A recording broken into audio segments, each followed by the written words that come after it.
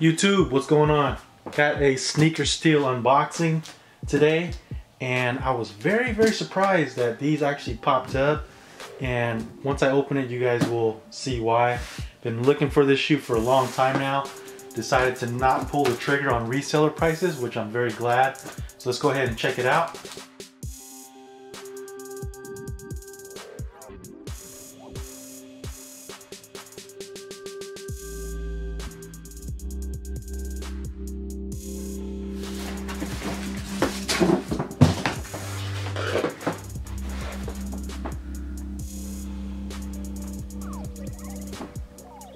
Alright guys, here's the label. As you can see, it's a Nike Zoom Kobe 8 EXT. Colorway is black, black, metallic silver.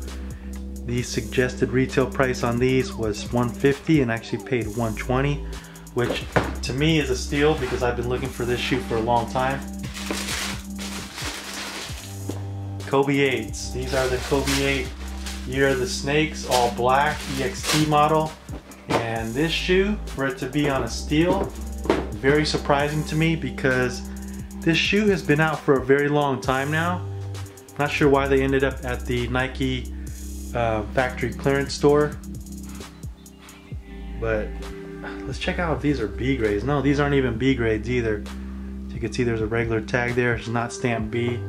So either these didn't sell too well in the stores or they just decided to release a lot of these at the factory stores. Not sure why that is, but definitely a very dope shoe. And um, wow, probably one of my favorite Kobe 8s now having these in hand. It has that snake print all over the shoe, as you can see.